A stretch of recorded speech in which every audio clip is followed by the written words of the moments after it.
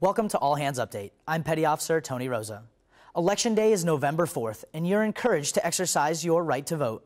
The Federal Voting Assistance Program, or FVAP, has the resources you need to vote in this year's election. Make sure to get your voter registration and absentee ballot requests in early. Registering and requesting a ballot is an easy one step process. Just submit the federal postcard application. Eligible spouses and dependents can vote absentee as well. 2014 is referred to as an off year election. These elections typically have small margins, which means your absentee vote counts. Go to fvap.gov and exercise your right, privilege, and responsibility as a citizen. Register to vote today.